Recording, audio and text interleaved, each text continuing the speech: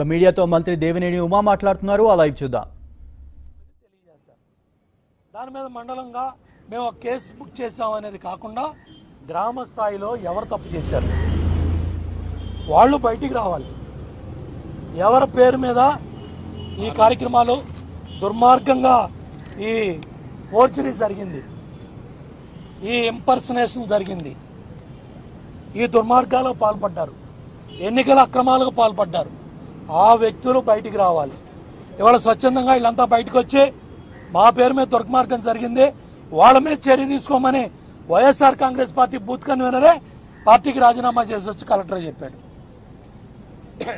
ఒక అవినీతిపరుడు ఒక కుట్రపూరిత వ్యక్తి ఒక పార్టీ అధ్యక్షుడైతే ఏం దుర్మార్గాలు జరుగుతాయో ఇవాళ ఇది ఒక ఉదాహరణ. Section four one nine section one eight two section one seventy one C. అట్లాగే చీటింగ్ ఎవరైతే పబ్లిక్ సర్వెంట్స్కి తప్పుడు సమాచారం ఇవ్వటం ప్రజల హక్కుల్ని కాలరాచే విధంగా చీట్ చేయటం అట్లాగే కంప్యూటర్ యాక్ట్లో అరవై ఆరు డిని దుర్వినియోగపరచటం పబ్లిక్ రిప్రజెంటేటివ్ యాక్ట్ని దుర్వినియోగం చేయటం ఈ సెక్షన్లన్నింటిలో కూడా ఇవాళ వైఎస్ఆర్ కాంగ్రెస్ పార్టీ నాయకుల్ని బాధ్యుల్ని చేశాడంటే ఇవాళ చిన్నప్పుడే చెప్తారు.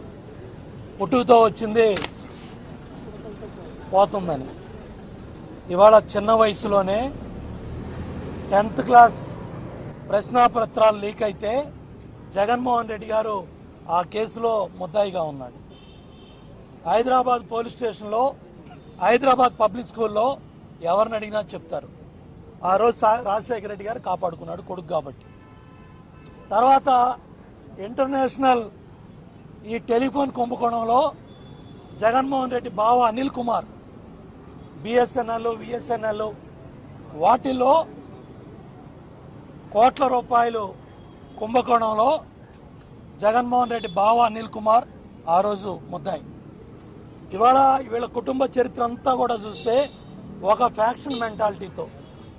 హైదరాబాద్లో మత కల్లాలు రెచ్చగొట్టి పదవ కోసం ఏ విధంగా రాజశేఖర రెడ్డి గారి పార్టీ కుటుంబం ఆ రోజు బాధ్యులైందో ఇవాళ వైఎస్ఆర్ కాంగ్రెస్ పార్టీ అధ్యక్షుడు జగన్మోహన్ రెడ్డి అతని క్రిమినల్ బ్యాక్గ్రౌండ్ అంతా చిన్న వయసు నుంచి ఈ రోజుకి వచ్చి ఎవరైతే ఆ పార్టీలో చేరిన బూత్ కమిటీలు కానీ పార్టీ నాయకులు కానీ ఇవాళ క్రిమినల్ కేసుల్లో బాధ్యుల్ని చేశాడో ఇంత దుర్మార్గమైన ఎన్నికల ప్రక్రియలో కుట్రలో కుతంత్రాల్లో బాధ్యుల్ని చేశాడో ఇవాళ ఇవాళంతా కూడా ప్రజలకి వాస్తవాలు తెలియాలి. ఇవాళ ఓటర్ మహాశయుడి ఓటు హక్కు ఉండాలి. ఇవాళ ప్రజల హక్కుని తీసే హక్కు ఓటు హక్కుని తీసే హక్కు జగన్మోహన్ రెడ్డి పార్టీకి వైఎస్ఆర్ కాంగ్రెస్ పార్టీకి లేదు. దాని మీద చర్యలు తీసుకోమని కలెక్టర్ గారికి తెలియజేశాం. ప్రతి గ్రామంలో జరిగిన దుర్మార్గాల మీద ఎఫ్ఐఆర్ రిజిస్టర్ చేయాలి.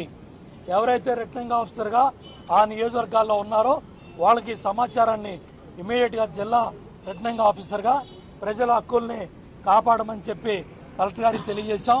అట్లాగే ఇప్పుడు కమిషనర్ ఆఫ్ పోలీస్ అట్లాగే సూపరింటెండెంట్ ఆఫ్ పోలీస్ కృష్ణాకు కూడా మా నాయకులు కంప్లైంట్ ఇస్తారు. మేమందరం కూడా అప్పుడు కమిషనర్ ఆఫ్ పోలీసును కూడా కలిసి గట్టిగా చర్యలు తీసుకోండి. ఏదైతే ఇప్పుడు ఏం చెప్తున్నారు? IP address code రావాలంటున్నారు.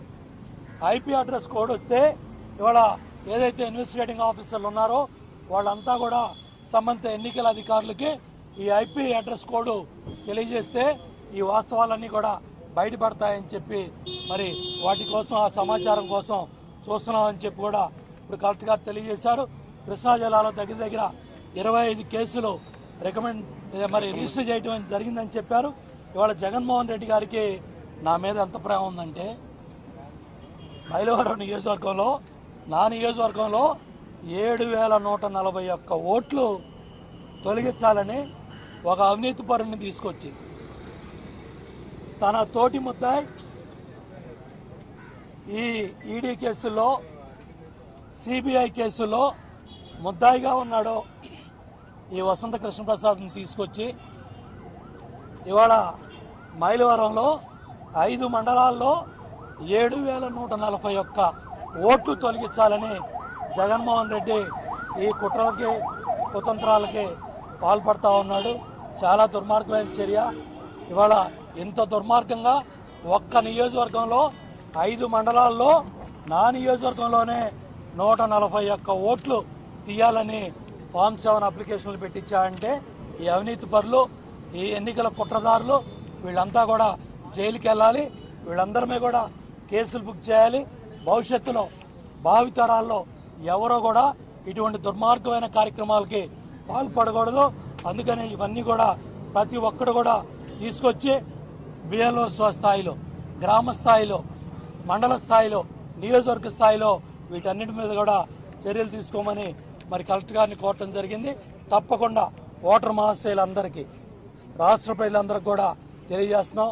దురదృష్టం మనందరికీ ఒక ప్రతిపక్ష నాయకుడిగా ఉన్న వైఎస్ జగన్మోహన్ రెడ్డి ఒక ఆశతో కుట్రతో కుట్రపూరితంగా ఇవాళ ప్రజల ఓట్లు తొలగించి ఇవాళ ఎన్నికల్లో లబ్ధి పొందాలని అధికారం చేజిక్కించుకోవాలని ఒక దుర్మార్గమైన కార్యక్రమానికి పాల్పడి యాభై నాలుగు లక్షల ఓట్లు తీయాలి. లేకపోతే నేనే ఫామ్ సెవెన్లో పెట్టించాను.